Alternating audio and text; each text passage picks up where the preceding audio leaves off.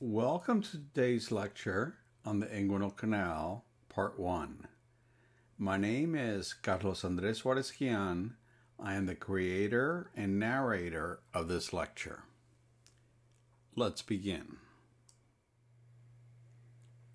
The objectives of this lecture are listed here. At the completion of this lecture, you should be able to describe the layers of the testis and scrotum as they relate to the anterior abdominal wall, name the palpable landmarks used to identify the inguinal ligament, describe the organization of the inguinal canal, including the superficial, external, and deep internal inguinal rings, list the major contents of the inguinal canal in females and males, discuss the difference between indirect and direct inguinal hernias and their relationship to the inferior epigastric vessels and the deep ring. And finally, define the boundaries of the inguinal Hesselbach's triangle through which direct hernias pass. Let's start. Before getting into the substance of the lecture, let me just introduce the concept of the inguinal canal. These are listed here. The inguinal canals are short passages in the anterior abdominal wall that transmit the spermatic cord in the male or the round ligament in the female. They are located parallel to the distal one third of the inguinal ligament's length for about 4 to 6 centimeters. The openings of the inguinal canal represent weaknesses in the anterior abdominal wall, and because these weaknesses, hernias can escape the abdominal cavity via the inguinal canal. Let me now demonstrate the location of the inguinal canal in the male on the left panel and the female on the right panel. Again, as an introduction to the subject matter to follow. The cylinders represent the location of the inguinal canals and they reside deep to the aponeuroses that we discussed in the previous lecture. As mentioned previously, the termination of the inguinal canals are the superficial inguinal rings, and in the male, it is the spermatic cord that exits the ring, whereas in the female, it is the round ligament of the uterus. If you ask the question, why do we even need an inguinal canal? What's the big deal with it? These are the commonly stated reasons. Mammalian sperm cannot survive at body temperature, that is, 37 degrees centigrade. They're simply not viable. Indeed, some reproductive biologists have even posited that the constant use of computers in society has led to a diminished sperm concentration levels due to the increased temperature the testes are subjected to when we sit. I should emphasize that there are examples in mammals where the testes do not descend yet are viable, but this is more the topic for evolutionary biologists and embryologists. Thus, the testes must exit the body cavity and reside in a compartment that is compatible with sperm maturation, the scrotum. Transit of the testis from the internal body cavity to the scrotum is via the inguinal canal, formed by the aponeuroses of the lateral muscles of the anterior abdominal wall. Entry of the ductus deferens, a component of the spermatic duct, into the inguinal canal is via the deep inguinal ring, and exit of the ductus deferens into the scrotum is via the superficial inguinal ring. We will discuss their formation in this lecture. The deep and superficial inguinal rings are weaknesses in the anterior abdominal wall and hernias or abdominal organ protrusions may extrude from these openings. Because hernias are relatively common, This is the reason that the inguinal canal and its openings have attracted so much interest from general surgeons. Finally, I should mention that women also have an inguinal canal, but the ovary is not required to migrate from the abdominal cavity into the labium majus to become fertile. In the female, as stated previously, the content of the inguinal canal is the round ligament of the uterus, a ligament that provides support to the uterus. To fully understand the migration of the testis and the formation of the inguinal canal in both the male and female entails some significant embryological description. This is not the place for it. However, this drawing can serve as a brief reminder. I'm showing you an image which represents a sagittal section through an embryo. Note the skin and the blue area representing the intraperitoneal space. The liver, stomach, colon, and small bowel develop within the intraperitoneal space and are called intraperitoneal organs. Additional organs may be found the pancreas, and the duodenum, but these are considered retroperitoneal organs.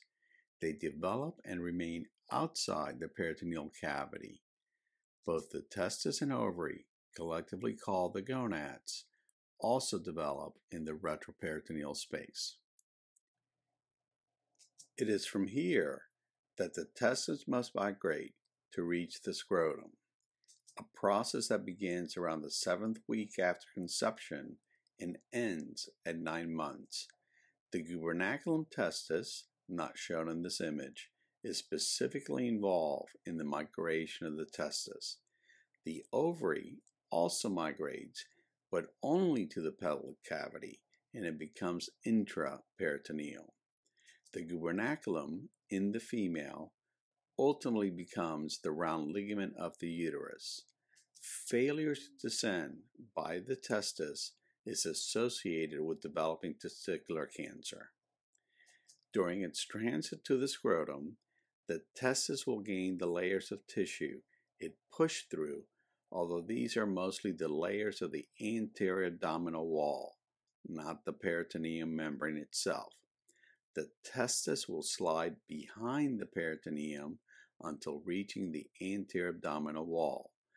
Again, this topic is discussed in embryology, not in gross anatomy.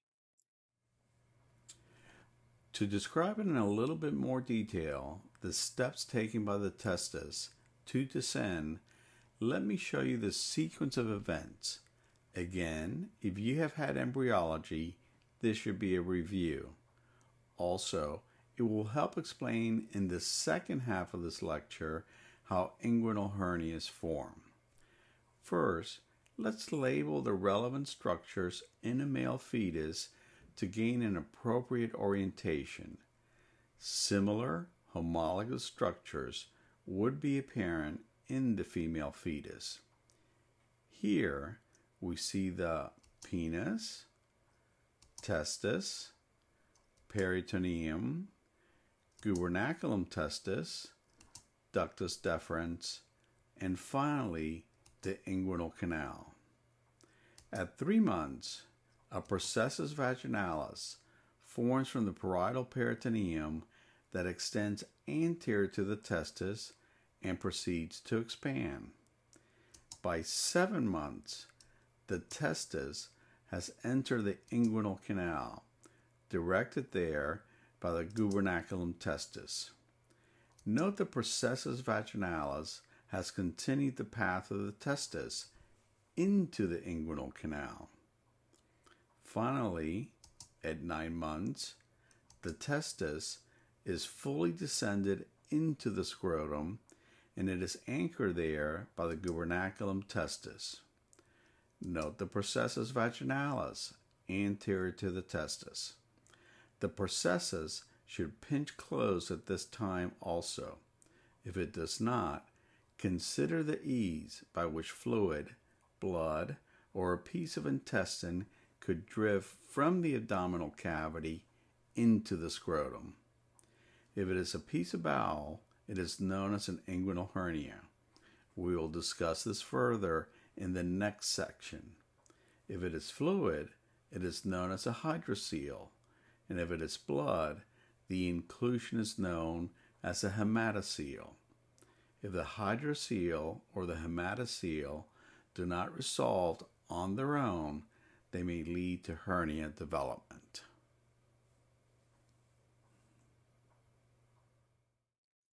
Here's an example of how hydrocele presents in a child. The pen light examination reveals a clear or translucent scrotum distinct from the testis. This is a result of accumulation of fluid within the tunica vaginalis, and it was likely caused by the infection or trauma.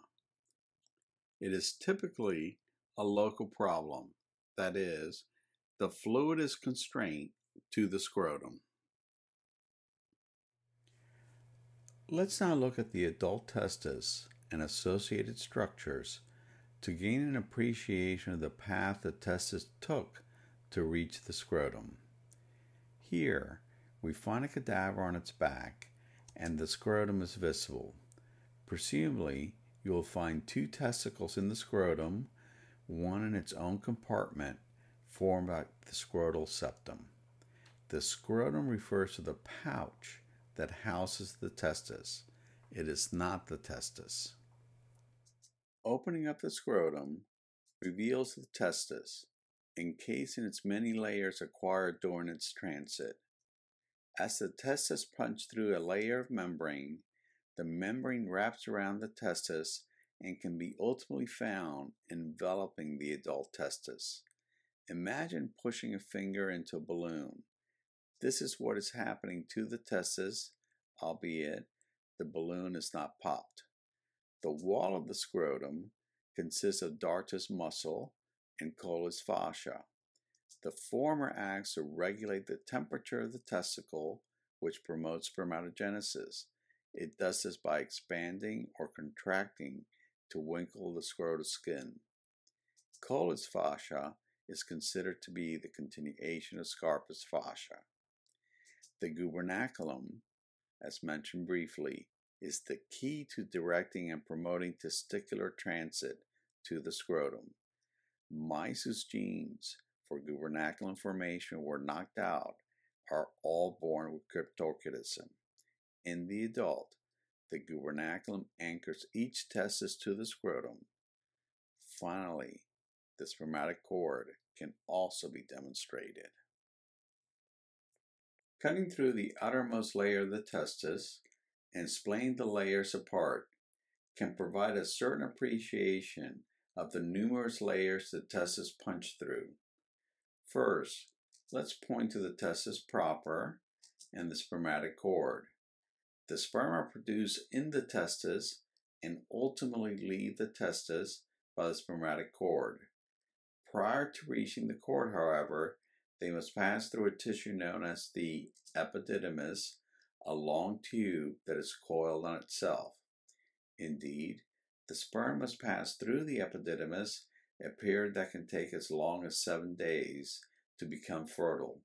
At ejaculation, the sperm are propelled outwards from the epididymis, not the testis.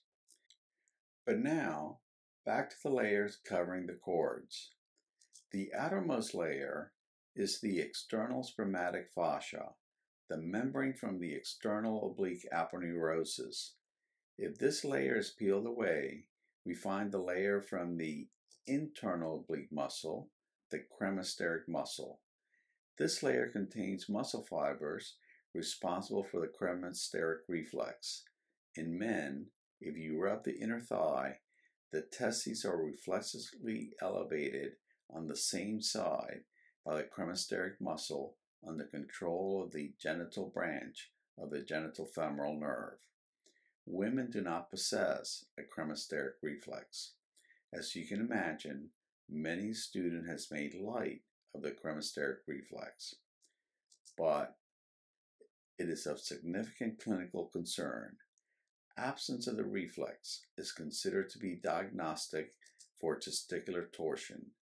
The cremasteric reflex has been reported to be absent in 100% of testicular torsion, making it potentially a useful sign in these diagnoses. In such a condition, the cord twists about itself and the blood supply to the testis is totally compromised. It is an extremely painful condition, and if not resolved, the testis will undergo avascular necrosis. The last layer we can discern in the image is the parietal layer of the tunica vaginalis. Go back to the first slide on testicular development and recall that the testis will glide underneath the peritoneum prior to powering through the layers of the muscles of the anterior abdominal wall. The peritoneum layer will be added first to the cord and testis, followed by the layers of the muscles. On the left panel, the spermatic cord has now been opened, exposing ductus deferens. Looking at the testis and epididymis, the sections of the epididymis can now be discerned. They include the head of the epididymis, the body of the epididymis, and the tail of the epididymis. Understand that the ductus deferens is contiguous with the tail of the epididymis. At ejaculation, sperm capable of fertilizing the egg depart from the tail of the epididymis. A vasectomy, as the name implies, entails a blockage of the ductus deferens to inhibit the passage of sperm from the tail of the epididymis and be ejaculated. The ductus deferens is cut prior to entering the superficial ring on both sides, and the procedure is considered permanent. Reports are present in the literature, however, where reversal have been successful. Of course, this requires that the testis remain viable after the vasectomy, even after many years, not always a given. Moving now to the panel on the right, the testis and epididymis are again labeled, and now the structures within the spermatic cord become more visible. The ductus deferens is again pointed out, as well as the testicular artery, the sole artery that serves the testis. This may give you an idea why testicular torsion can lead to such insidious consequences. The torsion acts as a tourniquet on the sole arterial supply for the testis that can be cut off during torsion. Finally, I mentioned the veins of the testis, and these form a plexus the pampiniform plexus of veins. This plexus functions as a system of cooling fluid surrounding the testicular artery to cool down arterial blood before it enters the testis. Under certain conditions, however, venous drainage can be impaired and the veins become varicose. This condition is known as a varicocele, and it feels in men who have such conditions as containing a back of worms. Varicoceles are associated with a higher rate of infertility in men who have them. You have listened to a lot of information on layers of the anterior abdominal wall, and in this lecture on the migration of the testis and the layers of the spermatic cord. Before continuing, let's review. Here, I show you a coronal section through the anterior abdominal wall at the level of the testis. The drawing is made of a section taken through the body as indicated by the blue square. For orientation, note the location of the inferior epigastric artery.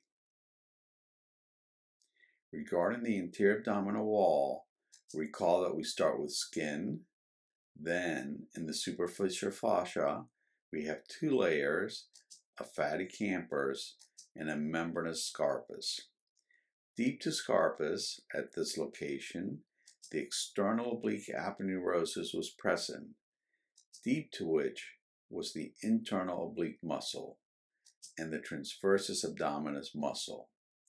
Next, we encountered another layer of fascia, the fascia transversalis, followed by extraperitoneal fat, and finally the peritoneum. The testis punched through all the layers of the anterior abdominal wall to reach the scrotum, except for the aponeurosis of the transversus abdominis muscle, and glided deep to the peritoneum. Looking now at the coverings of the cord, the continuation of the external oblique aponeurosis is evident as the external spermatic fascia, and the internal oblique gives off the cremaster muscle. The last layer is the internal spermatic fascia that was derived from the fascia transversalis. Within the cord itself, extraperitoneal fat and peritoneum have been dragged down. Moving to the testis, the skin is clearly continuous, and as described earlier, Camper's fascia becomes contiguous with dartos muscle, as does Scarpa's fascia with Colles fascia. Surrounding the testis is the tunica vaginalis, the continuation of the peritoneum. Remember, the testis does not punch through the peritoneum, but the peritoneum does extend into the scrotum as a pouch, and the pouch is generally sealed at birth. If it is not, inguinal hernias will be the result. We will discuss this further later. The last layer to surround the testis is the fibrous layer known as the tunica albuginea. Finally, you may have heard the urban legend that sumo wrestlers are able to elevate their testis prior to a fight. This is not true. While in theory, it may be possible to do this via muscles of the pelvic floor or acquire control over the cremaster muscle, it is not practiced by sumo wrestlers today, and sumo does not allow contact with this region. The legend may have been started by Ian Fleming, the author of James Bond, in his novel You Only Live Twice. This now concludes the first part of this video on the inguinal canal.